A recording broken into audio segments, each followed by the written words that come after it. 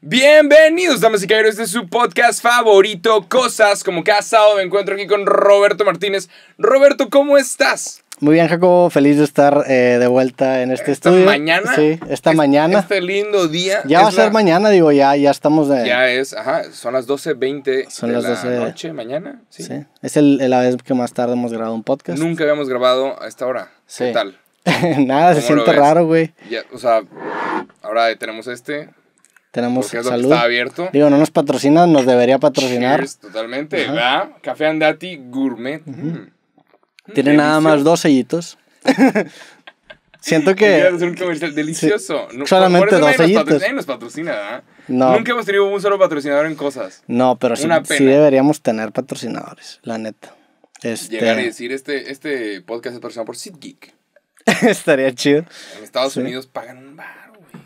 Sí. ¿Por qué crees que no tengamos patrocinadores? No, digo, la, la neta es que también nosotros nos hemos hecho los... No, los difíciles, las Sí. divas. ¿Somos divas? Porque si hay gente que se ha acercado con nosotros a... ¿Somos divas? Ah, sí, la neta sí. sí. Sí, sí, sí. Sí. somos divas. Sí, somos bastante divas. Sí, hay gente que se ha acercado, ¿verdad? Ujú. Y sí hemos dicho que no. Pero pues está bien, creo que mantiene todo esto mucho más limpio. Este, digo, bueno, ahorita que están pasando muchas cosas, para empezar es madrugada, eh, estamos grabando en, en un setup que nunca habíamos grabado, hay un puntito rojo. Hay un puntito rojo por aquí. Sí, quién sabe qué significa ese puntito rojo, güey, pero, pero Hay hay un puntito rojo que apareció. Este, Listo. Y ahora estamos grabando por primera vez switchando, lo cual ¿Quieres explicar lo que significa eso? normalmente editamos después de grabar, o sea, grabamos en dos cámaras separadas, mandamos este, el- los archivos y los editamos y después eso se convierte en un podcast.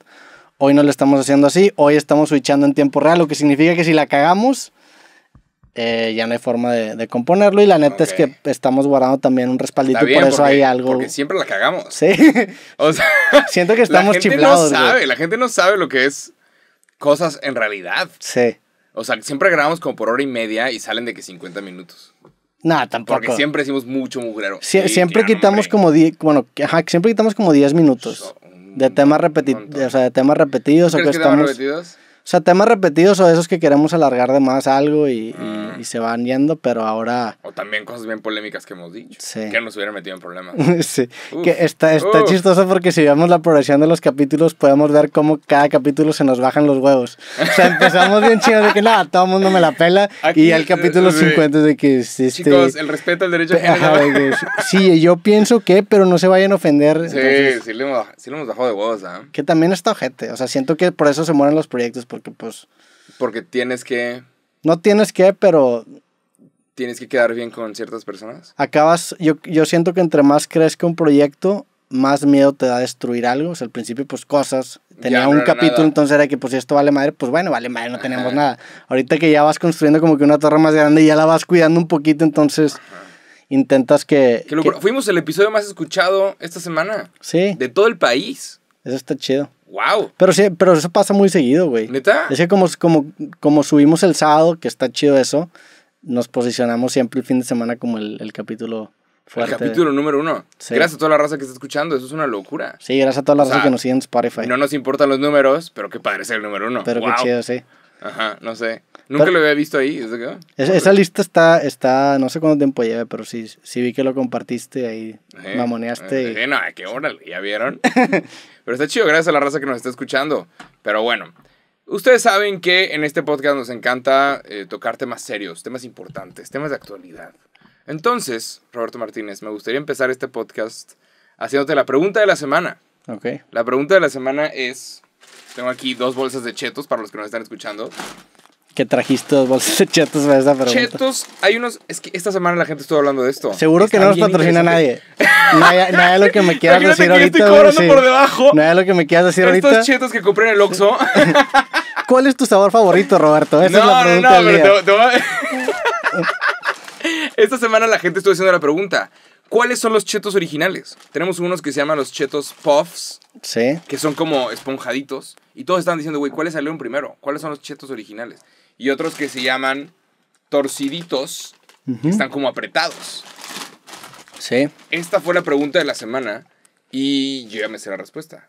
¿Cuál crees tú, cuál crees tú que son los chetos originales? De estos dos, Saludos a la raza que nos está escuchando, que nada más está escuchando celofán. Sí, sé, sé que me lo trajiste para intentar engañarme porque mi intuición me dice que los azules, pero sé que lo estás preguntando porque probablemente los naranjas sean los primeros. Entonces, Yo no voy a, como no voy a traer cosas para engañarte, ¿quién crees indagando un poquito en mi sentido común, creo que esos ¿Tú chetos... crees que estos son los originales? Yo, yo creo que son estos, pero está muy curioso que de repente me has preguntado cuáles chetos son los originales. Entonces yo me voy a ir por los naranjas, güey. Los... Sí.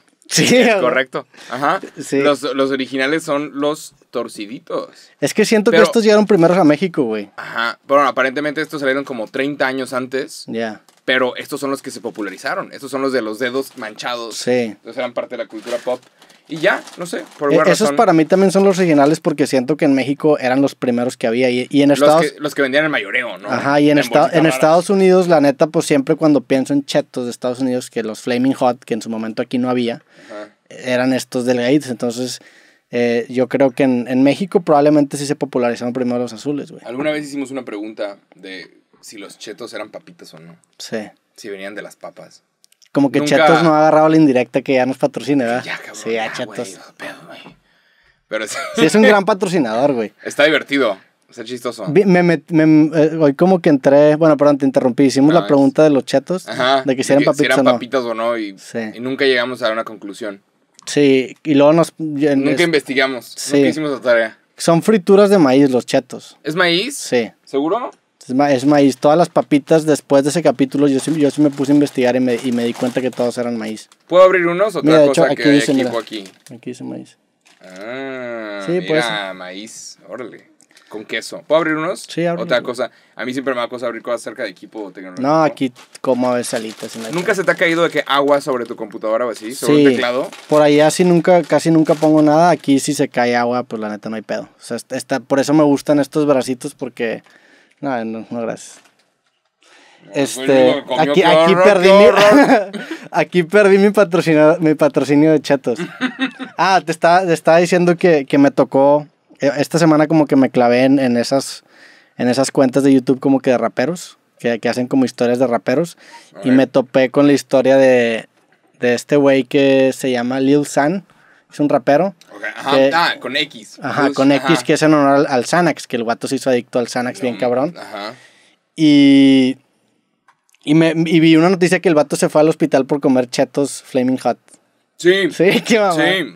Según esto, ¿no? Según Sí. esto, el güey se fue al hospital por haber comido muchos chetos. Sí, El vato tiene tatuajes en la cara. sí. ¿Qué opinas de los tatuajes en la cara?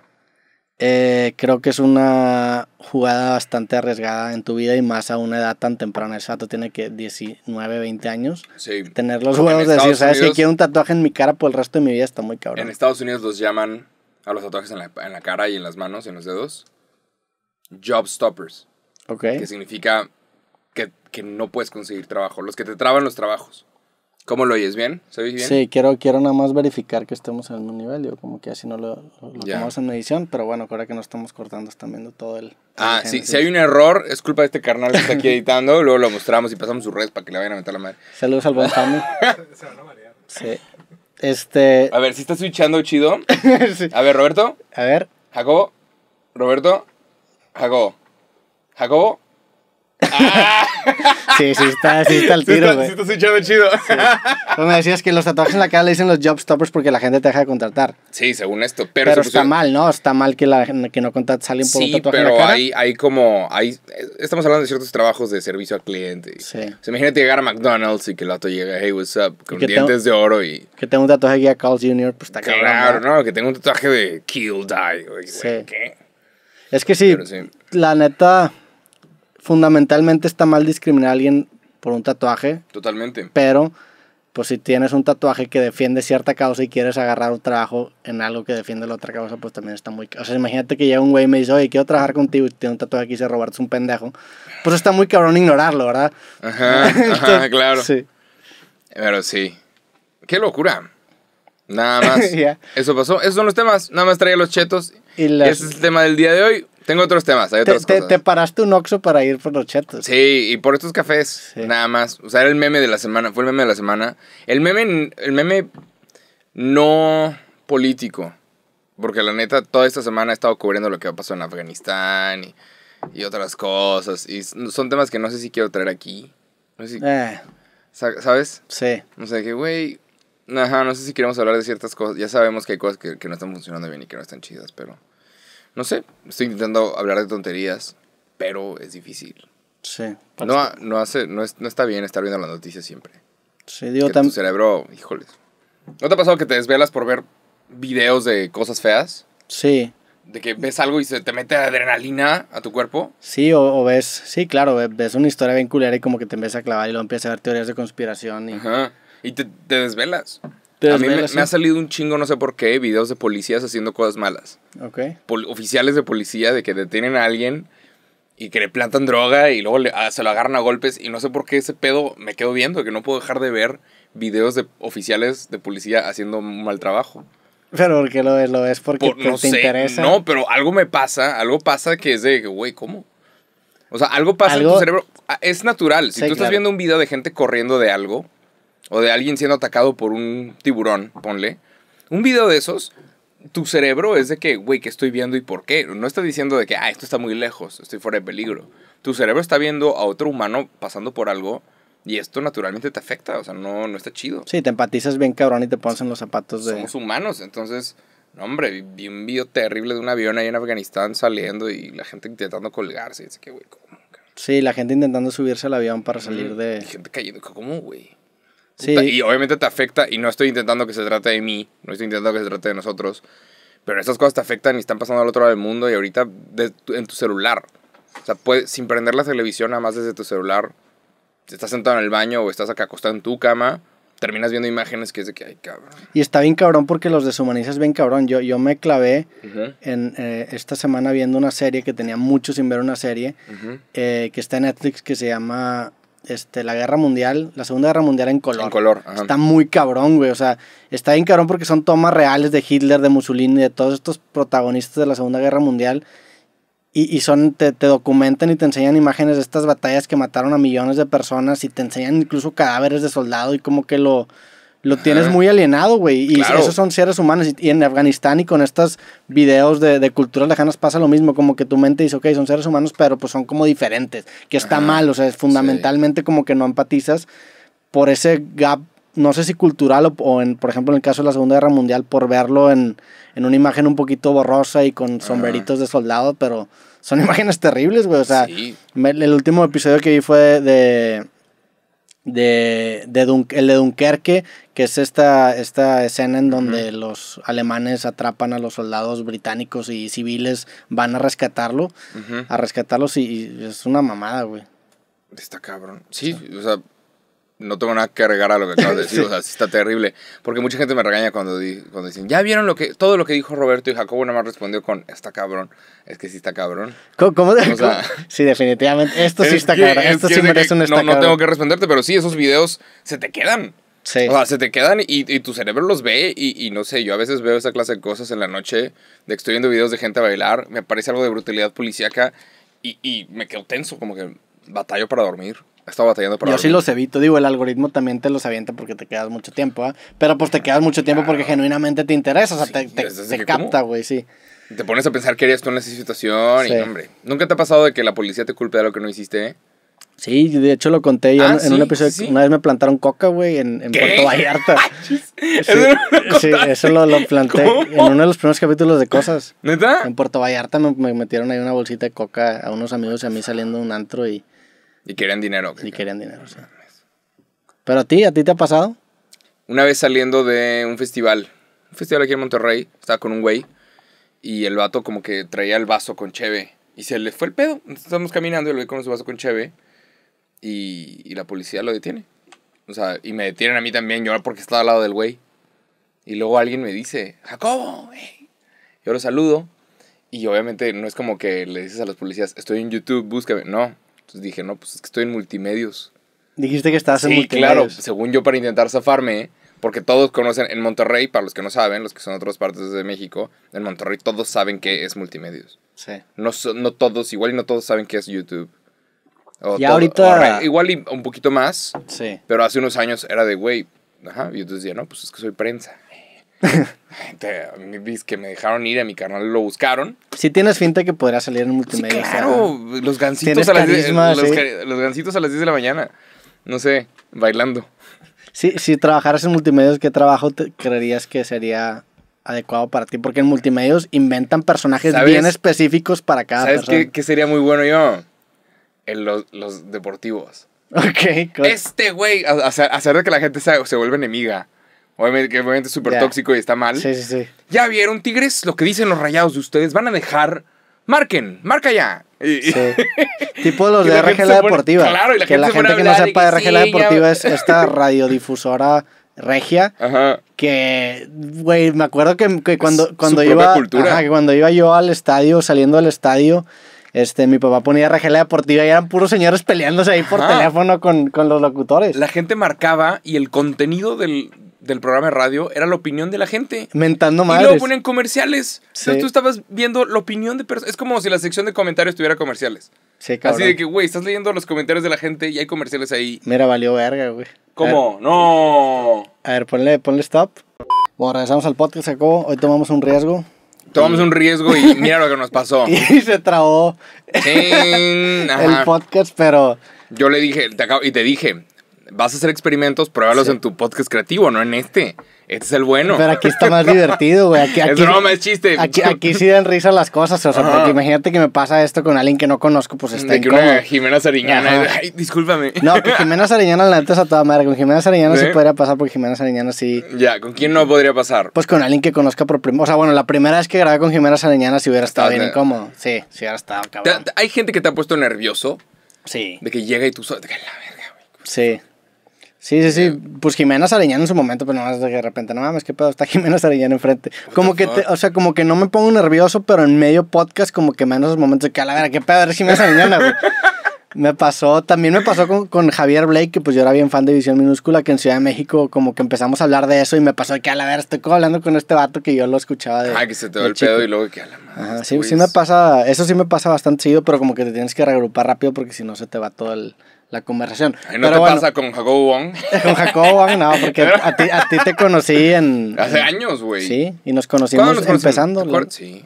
Como 2010, 2011. Nos conocimos como en 2011 en el TEC, Hace 10 años. hace 10 años, sí. What the fuck. Sí, los dos estábamos en YouTube, Y éramos estudiantes. éramos estudiantes. ¿Extrañas la escuela? Sí, un poco. Extraño- O sea, hay gente. Mucho, mucha gente me decía: disfruta, disfruta la universidad. Porque cuando te gradúes, la vas a extrañar. Y yo, la neta, es de que está padre estar graduado. Prefiero Está- estar grabado. Sí, claro, ¿no? O sea, que o sea, ir a la universidad está bien. Pero ya, o sea, no Sí. volver, yo no, voy- no iría por a una clase más, jamás. Sí. Ni por la experiencia, nada. Yo, Yo- acabé. Yo siento que digo que sí extraño la universidad, pero con que viviera un día de estudiante diría que no Ya, mames. chao. Sí, el chile, qué bueno que no estoy aquí. 7 a.m. y temprano porque si no hay falta. O sea, es que lo- el tema de las clases no, no los extraño mucho, pero lo que sí extraño es, a mí me gustaba mucho la época de exámenes finales, como que estudiar y aprender toda una materia. En, Que como te que- metiste en biblioteca y olía a gente estresada Sí, güey.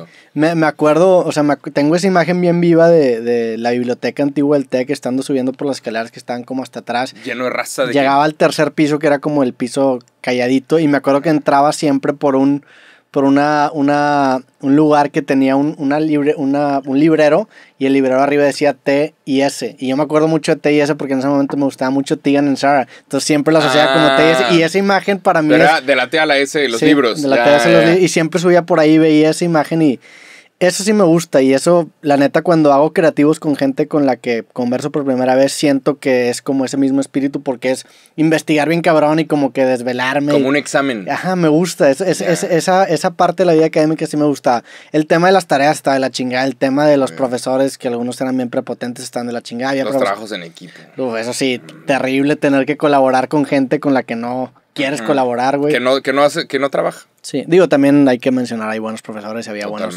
colaboradores, estudiantes, pero, Hay mucha raza que le está yendo muy bien. pero pues era nada más un, un volado a ver si te también- tocaba alguien sí, bueno. claro. ¿Te acuerdas que, que cuando, cuando te metías a clases buscabas a los maestros como en estas páginas que, Misprofesores.com. que ¿no? había Sí. como reviews? Eso estaba bien cabrón, imagínate Siento tener que un mal review y ser Todos están profesor. escuchando esta conversación y, y tú y yo estamos en un coto bien Sí. interno de nosotros. No, pero t- ¿de es- qué esta, están esta hablando? página, para los que no estén, escu- o sea, para los, lo que no, para los que no conozcan de qué estamos hablando, es una página que supongo que sigue existiendo, en donde tú buscabas a tu profesor independientemente del campus en el que estaba. o sea, en el que estás. Este, y creo que es desde preparatoria hasta, hasta carrera, o sea, y no solamente el TEC, sino de muchas prepas y Todas las universidades. escuelas. Ajá. Y estaba ahí un perfil que le crearon a ese profesor y los estudiantes anónimamente ponían Es lo reviews. más peligroso. Era como un Amazon, pero de profesores, güey. Comentabas de manera anónima cómo te lo habías pasado. Como un Uber. Sí. Había comentarios. Pero Había anónimos. Anónimos. De que cómo te lo habías pasado con X o Y profesor. Entonces tú a la hora de hacer tu horario, para los que no saben, investigabas qué profesor era quién, quién era el barco. Sí. ¿Cómo que le dicen barco? A los profesores barcos. Les decían barcos porque Porque eran. Pasabas. Sí, porque pasabas así nada más. pasabas flotando. Pasaba. No me acuerdo por qué le decían a los profesores barcos. Pues porque barco te da como un sentimiento de paz, de que, ay, pues ¿Será un eso? Ah, Estoy seguro que había una, una Sí, explicación. seguramente una explicación más elaborada. De que porque pasabas. No me, no me acuerdo. Sí. ¿Por qué le dicen barco? ¿Quién sabe? Sí, pues por nada más estabas en un barco Pero y pasabas había la materia. los profesores barco eran los profesores en donde sí o sí ibas a pasar. Y había mucha raza que quería sacar 90 y 100 y hay mucha raza que nada más quería pasar. Y yo nada más quería pasar, la neta de que ya sáquenme este infierno. Ya Sí. acabé. Sí, también había materias en las que decía de que, güey, pues el chile me vale madre Sí, claro. aprender Ética. ¡Qué ética horror! Ajá. o cambio climático. También una materia de cambio climático. Es de que, güey, o sea, Terrible. entenderle, pero llevar un semestre de cambio climático como que no se me antoja tanto. Nosotros diciendo, me vale madre ese Sí. cambio climático. Y ahorita mientras, el mundo valiendo chupas un, verga, mientras chupas un popote, todo lo que está mal. Sí, pero sí estaba bien cabrón. Digo, supongo que sigue existiendo esta página, pero sí estaba bien peligroso. Y creo que en su Sí. momento, pues ahí salieron acusaciones de Hombre, los güey. casos de, pues, acoso de... Ah, no, ahorita, ahorita esas cosas son serias y, y ponen hasta tendedores. ¿Y cuál página, cuál página web? La gente va y escribe y pone. Si hay acusaciones contra alguien. Pero Pero también... yo una vez, un maestro de álgebra me reprobó. Yo reprobé, yo reprobé porque batallo con álgebra. Entonces no puse atención y Porque batallas con Alfredo. No, no, Nada más, no soy muy bueno con cinco están. No eres, no eres bueno despejando X. A, B, más menos, raíz cuadrada, B cuadrada, una cosa así. y Era que ya, güey. Que bueno. O sea, la necesitas. ¿Para qué sirven las clases de matemáticas en la prepa? Pues para estar sharp, ¿no? Para estar bien. Pues sí, se ejercita tu, tu mente y te, te, te entrena para resolver problemas este, de una forma ordenada y, Y de escalable. Es que, ajá. Supongo que tienes que probarlo todo para saber qué es lo que te gusta. Sí. Y lo tienes que pasar todo. Si no, como para qué, para qué vas a la universidad si vas a estar reprobando. Mira, volvió a valer. verga. ¡No! Bueno, regresamos. Este, Ya de volvimos. otra interrupción. Estamos aprendiendo aquí. Ok. Es que estamos, estamos editando en vivo. chetos, ¿no? Pues, Ajá, cada que se traba la cámara me pongo como un cheto y creo que nadie se va a dar cuenta. Pero sí, ok. la las cámaras están trabando, estamos haciendo un experimento. Sí. Ojalá que la raza esté disfrutando de este podcast tanto como nosotros lo estamos disfrutando. Creo que- grabarlo a las una de la mañana. Sí, como que este podcast da como esa sensación de aventura, ¿no? Como que es- es- Ajá. es- es dif- está diferente el podcast. para, este podcast está para que lo escuches a la una de la mañana. Sí. Para, que estés como nosotros. Ajá. De que, güey, estamos desvelados. ¿Qué Comiendo estamos haciendo aquí? Ajá.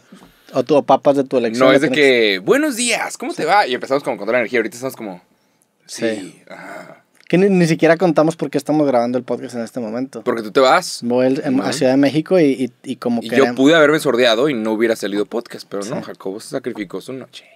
No le va a valer otra vez. ¡No! Chinga. ¡No! Bueno, regresamos en esta aventura de este podcast, cosas... Todo está fallando, mañana. todo está saliendo mal. Todo No, está mal, pero... es- o sea, eléctrico. Todo está mal, pero eso ¿Será está que bien. se les metió polvito de chetos a los botones? Sí, de hecho, la, la- toda- ya vi que todo mi equipo está lleno de chetos, güey. Pero bueno, estamos de vuelta. ¿Qué estamos hablando? RGLA Deportiva, sí es cierto. No, pero estábamos hablando de otra cosa. Estábamos hablando de que me voy a Ciudad de México y por eso estamos grabando este episodio. Te Sí. pudiste haber sordeado, no, no te sordeaste. Sí, Yo no, también no pude haber sordeado y no me ha habido raza que se enoja porque dice, no, no hubo podcast porque Jacobo se fue de vacaciones. y yo de, pues sí, ¿tú qué quieres que qué? Jaque- Tengo ganas de tirar hueva, ¿cómo la ves? Sí, que que Pero- Jacobo se, se echó Pero- dos meses de vacaciones. No, pero tú también te fuiste, cabrón. Sí. O sea, ¿y por qué la gente cree que es mi culpa? ¿Por qué Porque, la- porque a mí me ven siguiendo porque sacando viendo- siguen porque fue- fue- me fui a México a romperme la espalda y ahora ya tengo capítulos. Hasta la fecha sigo sacando capítulos de ese viaje. Ya. Pero sí, la neta es que los dos hemos, eh, hemos viajado bastante y, y era parte, digo, la neta desde el principio del año dijimos que este, este, Este- año iba a ser un poco más intermitente. Sí. Sí, ¿Te vas a volver a ir? Ah, pues te vas este fin de semana. ¿A dónde? Ciudad de México. hacia México. ¿Y qué tal? Bien, también. City Mix. Pero bueno, eh, regresando al tema angular de este De- podcast. no me acuerdo ni de qué estábamos hablando. Está- Una disculpa, este es el podcast más raro. Es un gran podcast, la No, neta. no tenemos temas, pero hey, No, sí hay temas. Estábamos hablando de la, de la página de Reitear Maestros. Ah, de bueno, cómo ahorita sí, la gente. Yo una vez califiqué mal a un maestro porque yo reprobé. Ok. O sea, fue mi error, yo reprobé. y te Y, y dije, este profesor Me no reprobó. enseña bien. Y no es cierto, güey. O sea, yo pues, reprobé, pero pues, pero pues si de 30 cabrones reproban 3, el, el problema eres tú. Sí. La sacas, pero sacas típico de que... ¿Alguna vez reprobaste? No, nunca reprobé. ¿Nunca reprobaste? ¿Nunca? No. ¿No sabes lo que es reprobar? No. Yo, yo sí. Qué horror. ¿Reprobaste qué materia? ¿Al- ¿Álgebra? Reprobé álgebra y en carrera, nada más álgebra 1 y después de eso entendí que había que ir. O sea, te tienes que esforzar extra fuerte. Entonces yo tuve que ir a tutoriales, tuve que pagar tutor- tutorías por fuera para entender todas las operaciones. Sí. Es Y, que hey, ese, lo pasé. e- ese tipo de materias están ojetes porque si te pierdes de una parte si te vale madre Ujú. una parte, claro. ya tienes un hueco en tu conocimiento Sí. y cuando lo, lo vuelvas a usar no vas a poder, güey. No, está, está duro. Pero Me- yo sí tuve que tomar clases extras para poder pasar todas las álgebras y todas las Sí. contabilidad. Tuve una materia que se llama contabilidad y administración de costos, ya estudiando comunicación. Y la primera vez la reprobé también. Ok. Qué horror. ¿Cuántas materias reprobaste? Reprobé contabilidad administración de costos una vez y reprobé programación. No mames. Programación. Llevamos clases de programación. No me acuerdo con qué programa. C, ¿Con qué- C++. lenguaje? Ah, en C. Y, y listo. La primera vez me las turbo peleé y la segunda fue que ya. Sí, eh, la programación es de esas cosas que cuando le entiendes ya como que se te Ajá. abre y ves es, la otro, es otro idioma, es otro Sí. lenguaje. Y como que le tienes que entender para, para ya empezar a pensar cómo pensó el güey que diseñó el, el- no, el está- lenguaje. Ahorita qué maravilla las páginas que programan por ti, ¿eh? Sí. Eh. Segura- nos- seguramente a nos ti no te gustan. Nos está quitando a, nuestra- a nosotros, a mis colegas programadores, los trabajos. No, Yo seguramente. soy, yo soy del lado de. Como, como el, el manifiesto comunista que se rebelaba en contra de la revolución industrial. Yo me rebelo en contra de las páginas que autoprograman y se saltan a gente como a mí. Que ya, que ya, de Sí. que ya, pues pon la foto que tú quieras y ahí se va a quedar, no se va a mover nunca. Sí, es, Está mira, hasta esta página es como un drag and drop. Está- está es- bonito, neta, está chido, pero- Desde el punto de vista de UX está muy cabrón. Es un excelente programa. Sí. Hay mucha gente que no sabe programar y termina creando excelentes páginas web con ayuda de softwares. Yo estoy 100% de acuerdo y feliz de que pase eso, pero luego también, Sí, claro, era toda una ciencia. Pero, sí. digo, sigue siendo un talento que tienes y, por ejemplo, Pero el problema de eso es que cada vez hay menos especialistas que realmente entiendan, o sea, como que... en el futuro, no sé. O sí, porque como, como partes de tecnologías que ya están desarrolladas, Claro. hay cada vez menos personas que entiendan cómo se desarrollan esas tecnologías en primer lugar. Por ejemplo, ahorita con los softwares que regulan a los bancos, que es estos lenguajes de, pues como, como COBOL, por ejemplo, que es un lenguaje que usaban en los 80s, hay muy poquitos programadores que sepan de este lenguaje porque ya está muy obsoleto. Siento que esto va a pasar también con... Sí, o se les paga correctamente a las personas que usan esa clase de programas. Hasta spa, cabrón. O sea, Sí. tienes que proteger todo lo, lo que hay en un banco. Sí. Es un varo de verdad. O sea, digo, creo que en el futuro todos van a tener que aprender a programar. Es como aprender inglés. De que tienes que.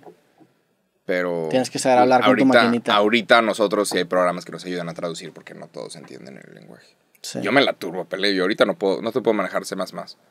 No puedo. Ni Java ni nada. Java. Sé manejar una cosa que se llama YouTube. Ahí vamos. YouTube todavía ahí funciona también. Sí, Pero sí. eh, pero está bien cabrón porque, por ejemplo, el, el- eso de... se- es que es lo que voy. El, el proceso de edición de video, tú y yo podemos decir que sabemos editar, pero realmente no sabemos editar. O sea, tenemos un proxy que es Premiere o es Final ajá. Cut que te dice cortar, pegar, pero eso es una simulación de agarrar una cinta y cortar y pegar, güey. Sí, claro. Entonces estamos tan alejados del proceso que realmente es editar Ah, y digo- estamos intercedidos por esta interfaz y creemos que sabemos, pero muchas veces se nos olvida que Ajá. estos, que estos softwares modelan una actividad física, güey. Está muy cabrón, o sea, es, es- es- digo, está chido, eh, así, así, así funciona la vida, güey, nada más que está raro, güey. No entendí lo que dijiste. O O sea- a ser siempre con esto. No entendí eso O de sea, Premiere- ¿Intermodelan qué? ¿Una O actividad sea, física? Pre- Premiere, Premiere, la forma en la que está diseñada, tú arrastras un video, por ejemplo, Final Sí, Cut, claro. Y el, el video aparece en algo que se llama tu timeline, y esa timeline es una cinta de puros frames que son tu video. Bueno, eso es una representación gráfica de una cinta física Sí, claro. que contenía los fotogramas para cuando grababas una cinta. Entonces. Tú tienes esta, esto- estas herramientitas que es cortar, mover, pegar, que simulan una actividad física que es cortar la cinta, pegar y así. Entonces, está bien cabrón porque, por ejemplo, yo personalizándolo, pues hasta que no vi ese proceso ma- manual, dije, ah, la madre, pues sí, se parece a, a como yo edito, güey. Entonces, realmente no sabemos editar físicamente, pero sabemos editar en esta plataforma que es Premiere. Eso va a pasar en el futuro. Va a haber gente que no sepa programar realmente, pero va a saber manipular la cancha, que son estas páginas donde creas tus páginas de internet, valga la redundancia. Y eso va a ser el nuevo programar, lo cual está raro. Pero pues eso pasó. Sí, digo, C++, C++ es lo mismo. La neta, hay, hay gente que aprendió con lenguajes de todavía más bajo nivel que me dice que, güey, C++ es de que para gente que no sabe programar. Sí, sí, Hombre, es- sí, eso no, no, sí. chao. A mí no me, yo no puedo programar nada para salvar mi propia vida. No te puedo programar ni tres líneas de código. Pero, pues pasé esa materia en su momento. ¿Alguna vez sacaste 70? ¿Alguna vez pasaste con 70? Sí. me sí, ah, me- te pasaron, güey. no, no me pasaron. No te pasaste, No. sacaste 70 a 0. O sea, se- set- 7 70, 0. 70 cerrados no. ¿No? Pero sí, sí, sí, sí saqué 70 en algunas materias. Si eras así que bueno Sí. en Sí. clases, sí pones atención. Sí, güey, pues estudié becado. Tenía, tenía que Ah, guardar mi beca, así, si no, si no, pues no estaba tan chido, ¿verdad? Ching, Sí, tenía servicio becario, fue una... ¿Tenías servicio de? Fue ¿Qué muy hacías? difícil. ¿Qué hacías? Este, Fue difícil. Fue muy difícil. Este, mi servicio becario casi siempre estaba en el, en el laboratorio de idiomas. El primer semestre me tocó con un güey de francés y luego me agarró como que un güey este, también de laboratorio de idiomas y ha- hacía yo pro- programas que le ayudaban a las personas que no podían pasar el TOEFL a poder pasar el TOEFL. Ah, está cool. Entonces, ah, de ahí aprendí mucho en, en mi, en, mi, en mi servicio Sí, becario, claro, la neta. digo, es, es la escuela con labor gratis. Sí, y la escuela es eso. Ajá, y luego ya en, el último semestre, la neta, no fui a mi servicio becario porque pues ya te, si, si no vas un semestre te lo condicionan, pero pues ya me iba a graduar. Ajá. Y se sentí que se me pasaron de lanza, o sea, había gente que sí descansaba ciertos semestres. A mí toda mi carrera tuve servicio becario y la neta iba casi todos los días, güey. Qué chinga, güey. Sí, sí. A, tu, a tu horario. Sí, sí fue una chinga, pero la neta sí aprendí mucho y, y saludos al, al profesor que la neta era un gran tipo, me cae bien. Qué locura. Sí. Sí. Eso, eso va a tratar nuestra vida en el futuro. Nada más vamos a estar hablando del pasado y de lo que hicimos. ¿Cómo estuvo la universidad? No, estuvo bien. ¿Tú crees? Ya. Sí. No. ¿Tú crees que es que sí está bien cabrón porque llegas Hay a un punto, en donde Sí. ajá, nada más te pones a hablar del pasado, de lo que hiciste. Sí. Y como que eso siempre es tu, es tu zona para sentirte feliz. Me Sí. hay, hay un disco que ya lo he mencionado aquí que se llama Reconstruction Site de una banda que se llama The Wicker Dance. Y ese Ok. disco para mí es como acordarme de la Navidad en mi casa de que en 1998, 99, como que ese sentimiento de, pues no sé, como seguridad, güey. Es, es- es- está muy cabrón Ajá, eso porque, se o sea, siente- está bien cabrón que la infancia, la infancia realmente te define a futuro, güey. Me sentí, he escuchado últimamente punk rock. Y a veces llego y le pido a Alexa que me ponga punk rock. Está chingón. Y me recuerda cuando era, tenía 15 años y, Sí. y me sentía rebelde. Tenías tus Viviendo, bands. viviendo con mis papás y me sentía rebelde. Pero estaba cool. Me acuerdo. Sí, los bands de cuadritos. Sí, que los, los de cuadritos, sí. Tú sí patinabas, ¿verdad? Y ya. Sí, claro. Grafiteabas. No, no, nunca grafiteé. Pero sé, sé dibujar. Como ¿Con el, el estilo de graffiti, sé hacerlo en, en las hojas. Pero nunca tuve los huevos para rayar en la pared de nadie. Sí, no lo hagan, no está chido. Sí, no está chido, la Ajá. neta. Pues sí, sí, es algo... Yo desde, desde chiquito también siempre era como muy... Como que me gustaba mucho ese... Era el, lo el cool. desmadre, pero a la vez siempre pensaba en la persona de que... No sé, si, si sabía que unos amigos iban a ir a hacer una mamada y que aventar Ah. piedras a una casa, era que, güey, es una casa de alguien, o sea, es el papá Sí, de alguien. claro, y desde chiquito siempre tuve como que ese... Esa empatía. Se llama Ajá. empatía. Pues ser Y- un humano, ser humano decente. Sí, pero desde chiquito tuve eso y la neta, pues me, sí me juntaba con gente que hacía su desmadrito y si los hubieran torcido, pues a mí me hubiera también llevado la chingada. Pero siempre tuve como que ese decir de que, güey, ¿para qué chingados le haces daño a alguien que, ni, no se lo ni te merece? divierte, ni te divierte aventarle algo al carro de alguien. Sí, totalmente. Pero también después, pues sí, la neta, Ah, sí. es parte de la adolescencia el, y el... ¿Qué, ¿Qué Cagarla. bandas te gustaban? A mí me gustaba mucho el punk rock de, de Walmart. O sea, lo que encontrabas, ¿sabes? De que Paramore, Sí. Fueled by, de que te lo Fueled Fueled by Ramen. Lo de Fall Boy, Panic at the Disco. Sí. Y antes de eso estaba Good Charlotte, que estaba súper cool. Yo sentía que era de que el pedo. Sí. ¿Y quién más? Los de, los, los de esta disquera, los de Fueled by Ramen, la rompieron también Fon. Fon era de ellos, ¿no? Sí, sí, Fon sí. también la super rompió con ellos y los, los llevó Ah, al... y era, le pertenecía a Interscope, o Sí. una cosa así. Le pertenecía a alguien bien duro, pero esto era su disquera para hacer cosas así como... Indie. ajá, como independientes, pero no es cierto, todo le pertenecía al gran señor Sí. Warner Brothers, una cosa así. Todo es una farsa, todo, Todo es una le pertenece a sí. Disney. Son Una manera como así. estas marcas de nieve independientes que son de Hagen Dazs. Claro, sí. sí, sí, O sea, te daban como el. Te daban este feel, este sentimiento de que, de que era independiente y que no debías de estarlo escuchando y que era rebelde. Pero en realidad todo le pertenecía a Disney. Sí. Es como cuando hacen un pan de una marca y el pan de otro y todo le pertenece a, Bimbo. Sí. Es una mamada, porque ahorita inclu- incluso el género musical de indie no necesariamente tiene que ver con que la banda sea independiente, sino que ya es un sonido. Es son- raro. Ajá, Ajá, es como un sonido raro, pero le ponen indie aunque sean vatos firmados en disqueras transnacionales. Sí. Ahorita, ¿qué es ser rebelde? Ahorita el reggaetón es la, es la norma, ¿no? Sí, El ahorita- reggaetón es lo común. lo urbano, en general la música urbana, el rap. Entonces, ser rebelde, o sea, estar en contra del sistema, ¿es escuchar qué? ¿K-pop? No, Pues- eso también es muy, muy, muy común. Sí, pero pues no sé, güey, yo creo que lo, lo- lo equivalente al punk rock de, de antes es el rap, la neta. ¿Rap? Los raperos. La cultura, porque el punk y el rap se parecen mucho porque los dos fomentan como el- la cultura esta DIY, de que ajá. ser independiente, hacerlo tú solo, sin apoyo de nadie, como que es un, Que una mentalidad, ajá, una mentalidad muy parecida. Y yo creo que el rap y el punk se parecen mucho en eso. Y, y también, pues, el, en, en su momento el punk rock se rebelaba contra el pop, que era lo que estaba en el mainstream. Ajá. Y ahorita el rap se revela contra el reggaetón, que es lo que está en el mainstream. O sea, el reggaetón es el nuevo pop realmente. Y el pop está cabrón porque ahora el pop es indie. O sea, el pop ahora es un nicho, güey, lo cual es una mamada. Y el reggaetón es... el Es la tiene norma. el- ajá, es la norma. Entonces el rap yo creo que es como el... el, el Lo punk. nuevo ser rebelde. Sí. ¿Ya viste que lo nuevo ser rebelde es usar los, los pantalones holgados? ¿Ya viste que eso está regresando? El, el tener pantalones Los y- pantalones holgados. Yo nunca fui fan de los pantalones holgados. Neta, eran el pedo en los noventas. Era de qué huevo. Siento- Que te estén arrastrando los pantalones. Que, o sea, que estén más largos que Bueno, sí tenis. cierto. Sí, bueno, yo usaba los shorts largos, esos. Era eh, lo de. sí. Era Blink 182. Sí. ¿Sacas? Era de que sí, güey. Pantalones holgados. Lo que usaba el güey este de Nirvana, Kurt Cobain, también. Yo me tardé mucho en usar jeans, la neta. Yo, yo, yo ¿Qué no, usabas? Yo, yo no fui, o sea, yo no usaba jeans, usaba shorts. Yoga O sea, pants. yo creo que empecé a usar jeans como hasta prepa, güey. O sea, ¿Neta? Sí, yo, yo no me tardé mucho en que los jeans me gustaran y después agarré una moda con los skinny jeans que me gustaron mucho. Y, ¿Es en serio? pero yo por mucho tiempo en mi vida no usé jeans. No me gustaban. No lo puedo creer. Sí, güey. Wow. No, pues yo sí, yo sí soy fan de, de jeans. Yo era punk de verdad, o sea, no, no Ah, creía en los jeans, Tú güey. Sí. rebelde. En contra del verdadero sistema. Sí, güey. Pero sí. Usaba pantalones. Yo me acuerdo, y esto va, va a sonar como una pendejada, pero yo me acuerdo que antes de entrar ahí al prepa, Prepa Tech Santa Catarina, antes de entrar a esa prepa, que tú también fuiste a esa misma prepa, ahí me dijeron, no, güey, es la prepa de los fresas. Y yo, ¿qué, cómo? ¿Qué? Sí, güey, si vas usando la misma ropa dos días seguidos, te van a pegar. Y yo, ¿cómo, güey? ¿Cómo? Yo era niño, o sea, yo tenía de que 15 años, de que, ¿cómo? ¿De qué estás hablando?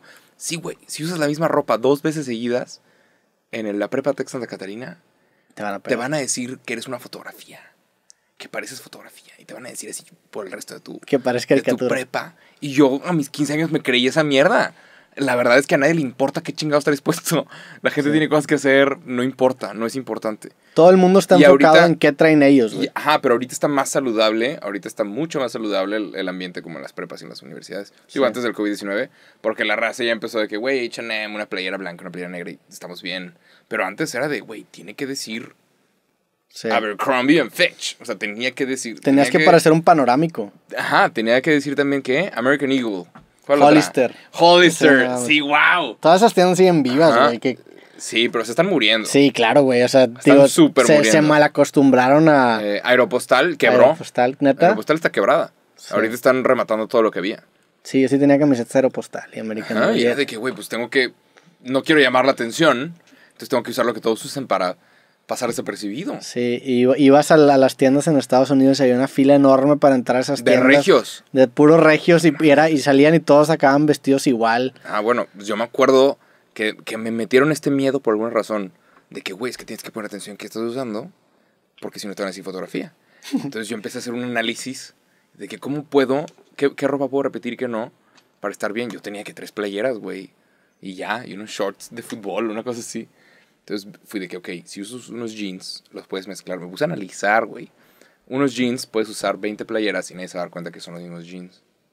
¿Sacas? Entonces fue que, ok, tengo que comprar unos buenos jeans y enfocarme en las playeras. Y creo que por eso me gustan tanto las playeras. O sea, le pongo mucha De ahí atención. empezó el- la obsesión con Ajá, las de playeras. que, güey, ajá, incluso yo, ahí tengo dibujos de cuando yo tenía 16 años, de que diseñando playeras, según yo. Y eventualmente salió Amigos Cool, lo cual es una locura. Órale, güey. Pero, pero este, fue este miedo a que me dijeran fotografía. Sí. ¿Me quieres insultar de verdad? No me digas pendejo, dime fotografía. Yo, güey. yo, yo creo que yo lo tomé exactamente al inverso que tú. O sea, yo siempre parezco una fotografía, una caricatura, güey. Tengo dos Claro. outfits. Sí, pero ya, ya, ya estamos graduados, es diferente. En la prepa hubiera sido, En la prepa me hubieran pegado, según le... ajá, según la historia. Sí. Pero, Pero- te, te acabas dando cuenta de eso, como que en la prepa es mucho de voltear a ver qué están haciendo, o sea, qué, qué piensan de ti los demás. Estaba bien tóxico ese Y- ambiente. sí, claro, y Estaba te- bien mal. Obviamente yo no, yo repruebo esa clase de comportamiento y esa clase de Sí. actitud de tienes que estar usando. Chica tu madre, güey. No te, te lo acabas que- dando cuenta que nadie se fija en lo que tú traes puesto porque Ajá. todo el mundo está preocupado en qué están pensando los demás sobre Ajá. él mismo. Entonces todos están en una Las paranoia. chavas están todavía interna. más preocupadas porque Juanita vino con el mismo outfit que yo. Sí. Porque vendían cuatro outfits nada más. Sí. en alguna tienda de mujeres, no sé.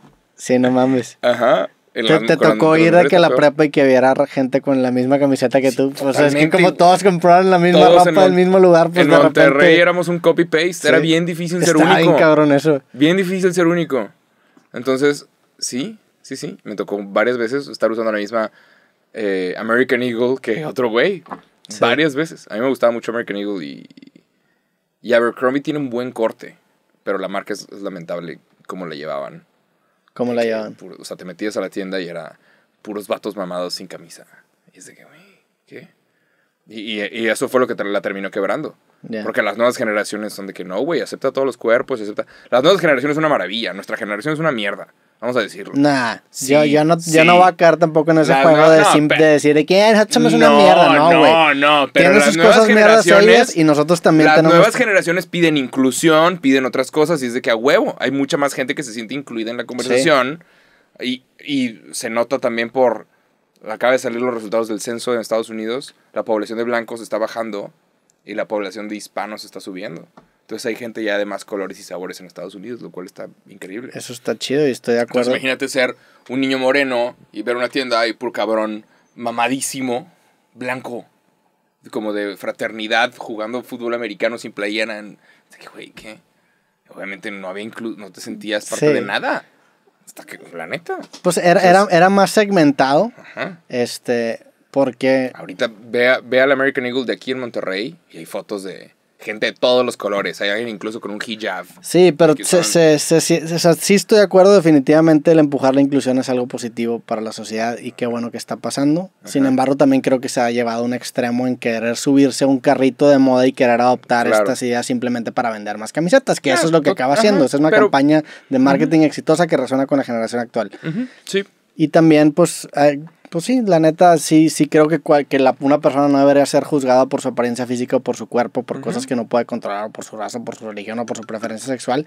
Sin embargo, también, pues hay estándares de salud que, que ciertas, que también tienen Sí, que claro, tomarse no en cuenta, que- no ¿verdad? hay que aplaudir a alguien Ajá. que no ha cuidado de su vida. Sí. Pero. Y digo, no, tampoco hay que satanizarlo, ujú. pero pues, no sé. No, entonces es, es un, es un, estamos ver, en un se ne- lugar... Se necesita un. un- Estamos en un lugar en el que Balance. estamos teniendo una conversación sobre ese tema porque definitivamente en, un- en- en el pasado se trató muy mal sí. a las personas que... ¿Te acuerdas? Cuando éramos niños, seguramente te acordarás de esto, las modelos eran...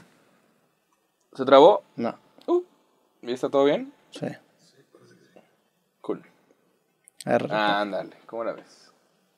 I called it. va. ¿Qué te iba a decir? ¿Qué estaba diciendo? Cuando éramos niños, fu- había un pedo de verdad que era el de anorexia. Sí. Y creo que ya es menor. ¿Tú Ahorita ya no, crees? no sé, pues yo no, yo no he escuchado tanto como escuchaba antes. Ujú. En, cuando, cuando estábamos en secundaria yo lo escuchaba un chingo, era, era un problema de verdad. Y se trataba y llegaron a hablar con nosotros en las escuelas. No sé si todavía existe. Sí. Digo, Igual definitivamente y no todavía estoy- existe, Claro, pero to- igual y no estamos de que ahí pero no, a lo mejor en un sí. lugar en donde vengan a decirnos sobre el problema. Sí. Pero en su momento era de que, güey, las supermodelos estaban flaquísimas, pero casi huesudas. Y había que verse así. Y era que, ¿cómo, güey?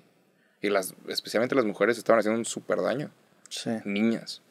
Sí, creo que eso, eso qué bueno que se terminó, que cuando menos se ha reducido, pero también Pero- está el otro extremo. Ajá. Claro, digo, de esas modas salieron cosas como los skinny jeans Y hay generaciones que llevan como 15 años, pero hay generaciones que nacieron y no conocen otra cosa aparte de los skinny jeans. Entonces para ellos se les hace muy interesante los pantalones holgados. Sí. Entonces están volviendo los pantalones por, por eso mismo. Y así funciona la moda. Es un O sea, péndulo. va regresando lo que no conoces. Pero todo ya sucedió. O sea, Sí. ya, ya sucedieron los yoga pants para los hombres incluso. O sea, ya pasó todo. Sí, estamos condenados a repetir la misma historia y es por una amnesia. Ajá. Una amnesia colectiva Sí, porque pues, no, no nos acordamos que eso ya había pasado antes. Y, y, pues es esta condición humana de que el zacate siempre se ve más verde en el jardín de enfrente, básicamente. Exacto, entonces, de que puta, lo que no tengo es lo que quiero. Entonces ahí van todos de borregos y luego regresamos todos para acá. Y así funciona. En general las modas, pero, pero sí, ya ni me acuerdo qué decir, güey. Estábamos hablando, es que es bien tarde, güey, es la una de la mañana, estamos aquí hablando de la vida. Sí, no mames. ¿Pero, qué más? ¿Mande? ¿Qué, qué más, güey? Iba a decir Nah. algo importante y se me olvidó. No, de la moda, anorexia. Ah, este sí, era, tenía algo que ver con eso, güey. No me acuerdo. Sí, Digo, a mí me gustaban mucho los skinny jeans porque yo de chiquito era muy, muy flaquito, güey. O sea, demasiado flaquito. Y los skinny jeans me quedaban como pantalones normales. Ah. O sea, para mí los skinny jeans eran de que, ah, la madre, estos jeans me quedan decentes. Los demás eran demasiado grandes. Entonces, por, por eso me empezó. Y también yo siempre fui de, de corte bien. Yo, yo estaba en, en un equipo de fútbol americano cuando era niño, güey. O sea, ¿Neta? pero de cuando estaba como en tercero de primaria, o sea, muy, muy chiquito. Y tengo una credencial que salgo yo de chiquito y sale mi estatura. Creo que está en segundo de primaria, está en hormiguitas. Medía un metro con 19 centímetros y pesaba 19 kilos, güey. O sea, era el más flaquito de toda la liga. Era, era el- era pateador, güey. Era, era el Ah, no pateador. mames. sí. Entonces yo siempre fui muy, muy, muy flaquito y para mí los skinny jeans me quedaban como, como pantalones normales y luego ya con el tiempo me empecé a embarnecer un poco más, ya, Ya. no estoy tan flaquito Pues creces. y ya Ajá. me, ya me quedan ahora sí como skinny jeans. Pero creo que de ahí nació mi, mi amor por los skinny jeans porque esos me quedaban, Ajá. eran los únicos que se me veían decentes Ujú. en, cuando estaba más joven. Pues sí. Pero, pero sí, digo, ah, ya me acuerdo que iba a decir, ya, ya, ya recuperé la razón. Ok. Que sí nos tocó una etapa bien cabrona porque nos tocó el, en, en prepa y en carrera el inicio de los smartphones y de los celulares y de quemar gente y de sacar los packs. Y era, y era como que todo esto, pero sin regulación. O sea, ahorita ya está satanizado y ya Ahorita se ve hay mal. leyes. Y qué bueno que haya leyes porque estaba de la chingada. Nosotros nos tocó ese terreno fértil de, ok, ahora tenemos un celular con el que podemos tomar fotos y mandárselos a toda la generación, a toda la no gente. Hay, no hay castigo. Y no hay precedente de que esto haya pasado antes, entonces Todos te tocaron los peores casos de ese pedo. Entonces sí nos tocó un, Sí. Un, un momento Wow, bastante sí. el, pues, Yo me acuerdo. intenso eso, güey. Yo me acuerdo que todos traían un Blackberry. Sí, Eso era, ¿Tú vez tuviste un Blackberry? yo tuve un Blackberry. ¿Neta? Yo nunca tuve un Blackberry. ¿No? De repente todos hablaban por el BB Pin. el BBM. Es Sí. Era como un WhatsApp. Era, era el, el messenger del... Yo entré al Blackberry pero tarde, o sea, yo lo entré... Yo nunca entré. Yo, nunca yo tuve- entré como en el último año y como que cuando entré ya se estaban migrando los chidos al iPhone. Y cuando Entonces, aplicaste para la beca, has de haber dicho, no, yo no tengo es nada. que mira el, Bla- el BlackBerry y todos los demás tienen iPhone. No, yo me acuerdo que me, me ahorré para comprarme ese BlackBerry, me costó 2.500 pesos, me No acuerdo. mames. Cuando los celulares valían entre 2.000 y 3.000 pesos, no Pero que ahorita valen... 2.500 pesos te comprabas todo, güey. Pues 2.500 pesos era lo que valía un celular cabrón. Ajá, Este, y chingo. Sí, es una mamá que ahorita valen 20 mil pesos. Un 30, celular que- 40, sí, trein- sí, güey. 30 mil pesos un celular cabrón. Pero en ese momento 3 mil pesos te, te alcanzaba el mejor celular que había en el mercado. Me acuerdo que me costó 2.500 pesos y me acuerdo que entré y como que yo estaba bien emocionado porque tenía por fin mi BlackBerry y empiezo a ver que una morra trae un iPhone y fue que chingada madre. Un y hay tal- otra cosa, güey. Un tal Steve Jobs. Ajá, y empezaron de Wow. repente a migrar todos al iPhone, entonces entré un poco me, acuerdo, tarde. me acuerdo el primer iPhone que vi. Sí. Lo traía una chava. En, en prepa. Ajá. Sí, yo también. Lo veo y fue que, what the fuck. Y todo el mundo la está morra de ¿qué que, pedo? desde aquí puedo ver mis calificaciones. Y era lo que se podía hacer, meterte Sí. a internet a ver un sitio web. Sí, O sea, no había mucho. No había mucho que hacer, pero era de que, wow, eso es un, eso es un Sí. iPhone 1. Wow. Es que está bien cabrón porque la concepción del iPhone desde que lo presentó Steve Jobs era un iPod que tenía teléfono, Ajá. no al revés. O sea, ahorita Sí. lo vemos como un teléfono que tiene todo lo demás. En ese momento era un iPod que también tiene Su teléfono. presentación está increíble. O sea, te la muestran en. Tuve una clase que se llamaba Public Speaking. Pero es en inglés porque la, la tomé en inglés. Una disculpa, puta madre. La gente, "Estás hablando en Es inglés. la una de la mañana, güey, chingada ya. madre. Pero tuve una clase que se llama Public Speaking porque está en inglés, pero era hablar en público. Y. y Public speaking. te andas ahogando por mamón. por, mamón. por andar corrigiendo pronunciaciones. Bueno, yo me acuerdo que analizábamos mucho los, los discursos de Steve Jobs, son una locura. Y el güey siempre, seguramente ya lo dije antes, pero X. El güey siempre terminaba su, eh, su present- sus presentaciones diciendo, and one more thing. y una cosa más. Entonces todos sentían que estaban obteniendo un beneficio o algo sorpresa. Y no, todo estaba planeado. Pero era de, y una cosa más. Y como si les, como si les estuviera regalando, Sí. ah, por cierto, aquí hay un iPhone. ¿What? Eso digo, eso lo modeló y se lo copió de los de las bandas. O sea, normalmente las bandas se suben al Ah, escenario sí, pensando claro. que va a haber un, un encore, Encore. que es otra, otra. Sí. O sea, básicamente es una forma mamona de decir el otra, otra, y que tocan como tres canciones más porque la gente se va feliz porque les dieron Les un premio otra, extra. ajá. Pero ya está, es algo que ya está en el script. O sea, incluso en el setlist tienen, ok, cuando nos pidan te notas sales- tenemos esas tres canciones. Te sales, te fondas una cheve, hablas con alguien y, Y, regresas. regresas. Sí. ¿Qué pasa si, si la banda se sale y nadie dice otra? O- Pues ¿Ya no vuelven? Sí, no salen, güey. ¿Le has preguntado a algún, algún músico esto? Pues es que yo creo que la. Creo que nunca ha pasado, pero... Pues yo creo que sí ha pasado. No, digo, si vas a ver una banda, es porque quieres escuchar esa banda. Entonces sí vas a querer. Si ha pasado, ahí te va un caso en específico. Eh, a una banda punk, ahorita que estamos hablando del punk, de punk rock, se llama NoFX. NoFX ok. sacó un, un disco que se llama Cokie the Clown, Ok. en donde Fat Mike interpretaba a este personaje que era un payaso que estaba como deprimido y se metió un chingo de drogas, cocaína en específico, pero se llama Cokie. Ok. Y al güey se le ocurrió hacerle una broma a su, a su público. Entonces el güey sale disfrazado como Cokie the, the Clown en, en el, en, en el concierto y trae una botella de tequila. Entonces todos embolados, empieza a repartir shots y le sirve este tequila toda la, la primera fila y a mucha gente que estaba ahí en el concierto. Entonces brindan, se lo toman todos y luego sale una tele. Y en esa tele el güey pone un, un cassette de VHS y en ese cassette de VHS sale el vato orinando dentro de la botella que le acababa de servir No. a los fans. ¡Qué Entonces ahí le empezaron a, mentar la madre y... Que aventarle Ajá. mierdas, claro. Y el... el, el No. ¿Qué? Nada más dale... Sí, no hay pedo. Vas a parar esta, ¿no? No, Tri... ¿No? no, ¿Sí, no? ¿Seguro? sí. Seguro. Y bueno, entonces el público... eh, pues le... Ah, es que ya, ya no tienes memoria, pero bueno, estamos hablando aquí, no hay pedo. Ok. Ahora salió un 0-0. Ahora sale un 0-0. Arriba de Jacob. Ahí. Pero bueno, básicamente hizo este, pedo y pues obviamente la gente se le fue encima. Ahí supongo que esa gente no le pidió otra otra. Porque Eh, acaba, me de- imagino. acaba de tomar orina de este güey. Y luego como que este lo, lo vetaron, le fue bastante mal, güey. Y, y después creo que acabó sacando un video diciendo que era falso, que le había puesto... Que era un este, chiste. Sí, pero, o sea que, Pero no, que realmente no, era- no era orina, pero la gente que vio el video en ese concierto decía que pues salía su pene ahí Ah, orinándole fuck. directamente a la botella. Ya. Pero y luego creo que sacó otro video desmintiendo lo que era un pene falso, pero no sé. No sé si a lo mejor fue para salvarse por una demanda, no sé por qué, güey. Eh, Qué ra- Híjoles. Sí. Wow. Qué punk rock. A ese vato seguramente no le pidieron otra, otra, güey. Le pasó una vez a una banda que se llama Nickelback. Ok. ¿Te acuerdas de ellos? Sí. ¿Está todo bien aquí? sí. Estoy volteando. A ver, volteala por el otro lado. Y todo Sí. bien. Ahora, Roberto sale con un puntito rojo y yo salgo con un 0-0. Mira, ¿te podemos quitar el 00? Nah, si me pa- pásame esa, esa cámara. Es más, sí, vamos a quitarte el 00. Está raro el 00.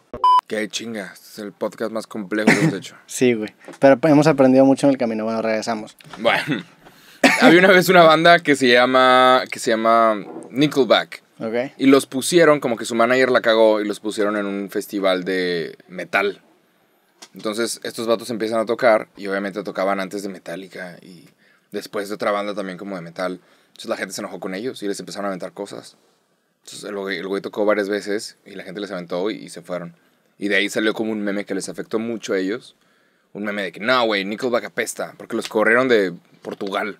Por ahí está el video de que Nickelback le avientan cosas y se les, se les jodió la carrera.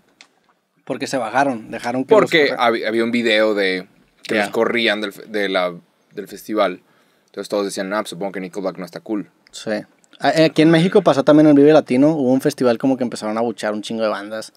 Y les aventaban piedras no. y monedas. A los de. Panda les pasó eso, güey. mames, y no se bajaron. El peor es que si te bajas, ya te ganan, güey. Vi un video bien punk de Panda, en donde como que les avientan algo. Es el de y Vive este- Latino y el Pepe lo y recibe este güey dice, pechito, y este güey dice, son como 50 mil cabrones y no me han pegado. Sí, no mames. wow. Yo, pinche loco, güey. La neta, Guau, muy bien. Antes no salió descalabrado el cabrón. Pero qué mamada, o sea, y la neta, pues ahorita envejeció muy bien, pero pudo haber envejecido muy mal, donde le hubieran metido un putazo con una piedra Claro y le hubieran abierto la cabeza. No, hombre, déjate una piedra, una moneda de 10 pesos, están Sí. pesadísimas, son unos proyectiles. Sí, sí. O sea, y la gente los avienta y no sabes ni de dónde vino. El Vive Latino es una audiencia bastante difícil a veces y, y, Pero es una pendejada. ¿Qué son? Es que, es que la raza ya se cree rockerita, güey. pues, y no es de sé. que, güey, nada más ve y disfruta el pinche festival. ¿Cómo que vas a un festival y les abucheas a alguien? ¿Qué te pasa, güey? Sí. O sea, no, lo que no te guste, vete al otro escenario, güey. Sí, aparte de varios escenarios. Pero Gente bueno, que se cree, que cree que qué. Pero bueno, me- lo vi también en, en un, un documental que se llama Rompan Todo, que hablaban del rock. Y como al final empiezan a hablar de cómo el rock hizo que existieran todos los demás pues, géneros en español en toda Latinoamérica. De como que, ah, ok, ya existe música en español, podemos hacer rap en español, podemos hacer esto. Entonces empieza de repente una, una banda que se llama Calle 13, con una rola, la de Atrévete. Y tocaron en el DF y el primer año, 2007, 2008, por ahí está el video, el vato llega y había gente de que muerte al reggaetón. Sí. Hay gente que hizo pósters para decir muerte al reggaetón e ir al concierto de Calle 13 en el Vive Latino y decir no. Y el vato dijo de que... Y René de Calle 13 lo tomó muy bien. O sea, que dijo, ah, este tipo que está por allá, ahí te va esta. Y, es de que, y s- son unos rolones, la neta. sí. Lo hicieron bien. Eso, eso es Ya. la, la forma de, de atacar a los hecklers en la comedia, es eso, como que hablarle precisa directamente a la persona y como hacer que la gente se ponga De tu con- lado. de tu lado, güey. Porque luego si de repente le empieza a mentar la madre y la gente ni siquiera sabe quién estás mentando la madre, se te va en contra, güey. Claro. Sí.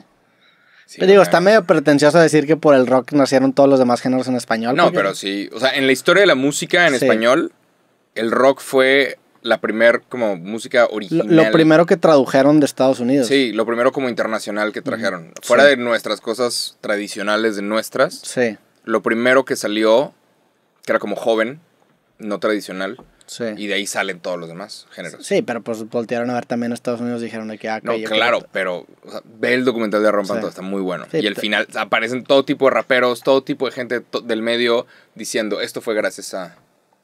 Ese, ese documental, no sé cómo fue la selección de artistas. No sé si fue por un productor en común o cómo fue el... el- Aparece Molotov, Sí. está bastante cool. Y te cuentan la historia de Molotov, que es una Sí, locura. sí, vi- Aparece- no lo terminé de ver, sí vi los primeros como dos o tres capítulos. No, hombre, los siguientes se ponen muy buenos. Sí. Y ahí le dan Está como interesante, un mini, sí un mini sí. espacio, se lo dan a Monterrey, que está cool. Obviamente la Ciudad de México es la que tiene el espacio grande en ese documental, porque ahí había varias bandas. ¿Cuál? La maldita vecindad. La historia de la maldita vecindad es una locura, güey. También los agarraron de la calle y resulta que eran súper artistas. Sí. ¿Cómo, güey? Pues bueno, con eso yo creo que terminamos el podcast más accidentado de la historia de El cosas. podcast más accidentado que hemos hecho. ¿Qué Espero que tal? todo salga bien, la neta. ¿Cómo vas, Roberto? ¿Cómo te sientes? ¿Todo bien? Todo bien. ¿Cómo va tu año? La neta, Chido. muy bien, güey. Este, el tuyo. Bien, ahí bien. vamos, ahí vamos. Sí. Sobreviviendo, va. Hay un puntito rojo en la pantalla, güey, no sé. no sé qué diga Sale esto en significa año. peligro. Sí. Puede pasar algo. Rojo significa no. Pero bueno, Pero bueno, con eso terminamos. A dormir, güey. Ya, son las- ya es la una, son casi las 2 de la mañana. una y media de la mañana. Este, toda la gente que vio o escuchó este episodio de cosas. les Gracias por escuchar. Fue una conversación bastante interesante. Sí. Si hay algún tema que les guste que tocamos más a fondo, como nuestra vida en el tech, creo que se hubiera sido un buen tema para Sí. darle duro. Digo, ya hemos hablado mucho de, de eso. No, pero que lo que ha sido estar en el tech. Sí. No sé. Bueno, en O- general en la universidad o en la prepa o en la carrera. Ajá. Pero bueno, yo disfruté la neta mucho este capítulo. Estuvo chistoso. Estuvo chistoso. Tuvimos un editor, un agradecimiento especial. A Fami. Fabi, ey, pero ponte tú, no hay una cámara. Sí, Fa- Fami de hecho me acompañó al, al episodio que grabé con Franco Escamilla y ahí sale como tres segundos. Si quieren ver algo en Fami, Si quieren buscar al, a Fami. al tirando bola y por ahí sale como tres Oh, segundos. oh, oh, oh. Este, ya, gracias a todos por escuchar o ver. Nos vemos en el próximo capítulo de Cosas. Les mandamos un fuerte abrazo. Vayan a Spotify, píquenle me gusta a YouTube. Queremos a ser, queremos ser el podcast número uno, aunque no lo parezca. Aunque nos tomemos muchos descansos. Ahí ¿Qué? va. Pues, Queremos, sí, Ahí está. sí, ahí está. Sí. Ahorita, ahorita regresamos a donde pertenecemos, que es el número uno. Que creo que ya estoy, o sea, creo que ya estamos en un punto en el que, la neta, yo estoy feliz con... Sí, está o chingón. sea, está chido. es- Disfruto Es mucho hacer buen- este podcast. Tenemos un chingo de es gente una que buena nos- conversión. Somos nos- libres. ajá. No es como que. No necesitamos que- de chetos para que nos patrocine. Hey, ni modo, chetos, no se armó. no, chetos, sí jalamos, la Saludos, neta. rufles. Crujitos, rancheritos. Este. Estaría chido tener de patrocinio un, un café, güey. Eso sí es algo que Sí, chido, orgánicamente ¿no? podría entrar aquí al Habrá podcast. que ver. Pero bueno, gracias por ver o escuchar. Nos vemos en el próximo capítulo. Que estén bien, sobres. Bye. Chao.